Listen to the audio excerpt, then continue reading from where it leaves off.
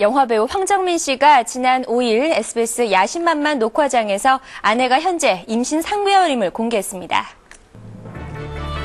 지난 2004년 뮤지컬 배우 김미혜 씨와 결혼한 황정민은 이날 녹화에서 평소에 부인에게 무뚝뚝하고 애정 표현을 못하는 데다가 바쁜 스케줄로 얼굴 볼 시간이 없다면서 이런 가운데 아이를 가진 부인이 고맙다고 밝혔는데요. 평소 애처가로 유명한 황정민은 이어서 아이가 태어나도 내 인생의 1순위는 여전히 부인이다라고 말해 부부간의 변함없는 애정을 과시했습니다.